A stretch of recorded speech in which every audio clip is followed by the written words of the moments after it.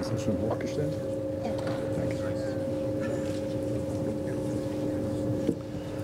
Sehr geehrter Herr Vizepräsident, verehrte Kolleginnen und Kollegen!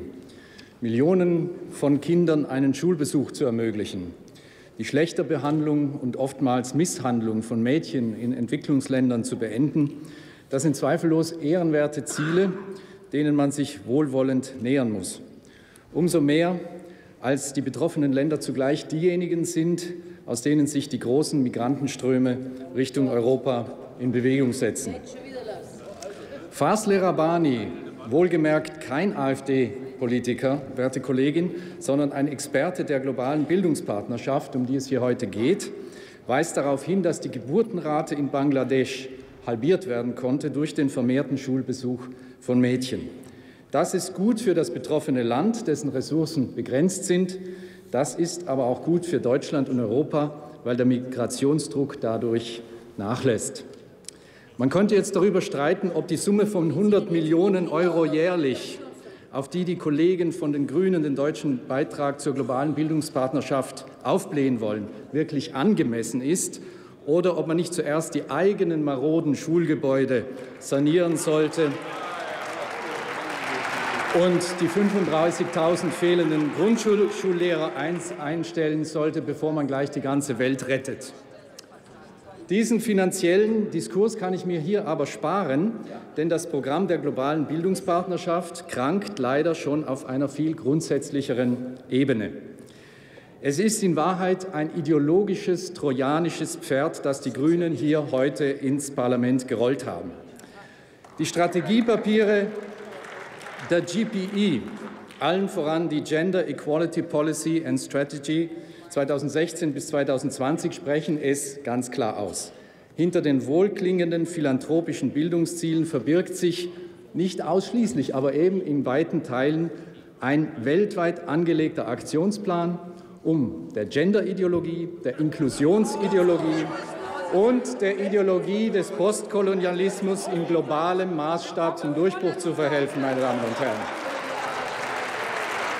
Also all diese zutiefst, all diese zutiefst schädlichen, weil an der Wirklichkeit vorbeigehenden Ideologien, unter denen Schüler, Eltern und Lehrer wie Studenten, pardon, Studierende in Deutschland leiden und die zum hiesigen Bildungsnotstand maßgeblich beitragen, die sollen nun weltweit in die Bildungssysteme implementiert werden. Am Genderwesen soll die Welt genesen und Deutschland soll dafür bezahlen. Mit der AfD sicher nicht, meine Damen und Herren. Ja, es müssen Sie sich jetzt auch mal anhören. Mit dem Gender Mainstreaming wurde der Geschlechterkampf in unseren Bildungseinrichtungen und Behörden staatlich verordnet auf Dauer gestellt. Das Verhältnis zwischen den Geschlechtern wurde damit einer permanenten unterschwelligen Vergiftung ausgesetzt. Und wenn dies, wenn dies in den betroffenen Einrichtungen und in der Öffentlichkeit nicht viel mehr thematisiert wird, so nur deshalb, weil eine Gesinnungsdiktatur von allmählich Orwellschen Ausmaßen jedem das Karriereende androht, der sich politisch unkorrekt äußert und das Gender-Dogma infrage stellt. Das ist die Realität. Und auch die Praxis, auch die Praxis der Inklusion hat verheerende Auswirkungen und darf jetzt schon als gescheitert gelten. Sie wird weder den behinderten noch den nicht behinderten Kindern gerecht. Sie zerstört das hervorragende deutsche Förderschulsystem und sie beruht auf demselben Gleichheitswahn wie die Genderideologie. Versuchen wir uns Versuchen wir uns doch einmal vorzustellen, was es für die Entwicklungsländer bedeuten würde, einem derartigen Erziehungsprogramm, das ja ein kulturelles Umerziehungsprogramm ist, unterworfen zu werden.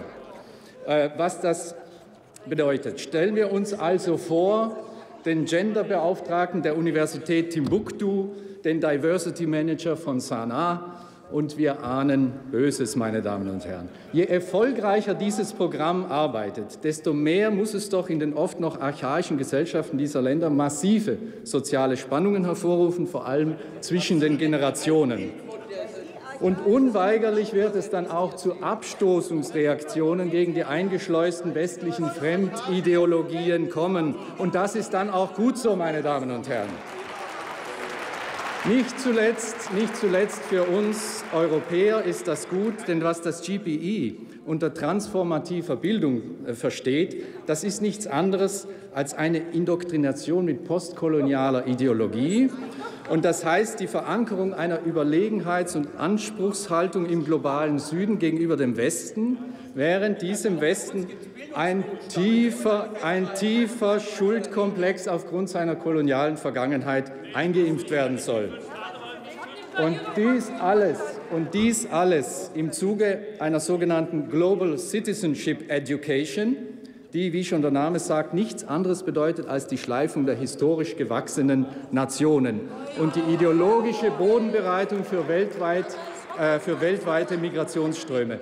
Im Grunde, was Sie hier machen, ist eine Form von äh, Kulturimperialismus, aber eine paradoxe Form, bei der die aufgedrückte Ideologie zum Schaden der Imperialisten ausschlägt, die sich ein humanitäres Mäntelchen umhängen. Für Bildung, ja, für Bildung für alle wäre die AfD zu haben, aber für Ideologie für alle sicher nicht, verehrte Kollegin. Trotzdem, trotzdem, trotzdem stimmen wir der Überweisung in den Ausschuss zu. Meines Erachtens wäre es im Bildungsausschuss am besten aufgehoben, weil dort diese ideologischen Ladungen diskutiert gehören. Aber ich kann auch so, mit dem Ausschuss für wirtschaftliche Zusammenarbeit leben, weil wir dort gemeinsam ausloten wollen, inwiefern eine ideologisch unkontaminierte Bildungsförderung, die dringend notwendig ist, Herr in den Entwicklungsländern realisiert werden kann. Vielen Dank.